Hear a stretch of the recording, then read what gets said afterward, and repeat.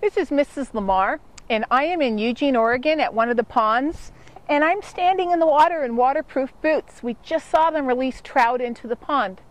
What is the danger if I stand right here and I am walking in the water?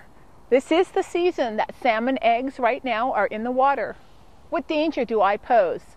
And what suggestions would you have for me so I am a better steward of the salmon habitat?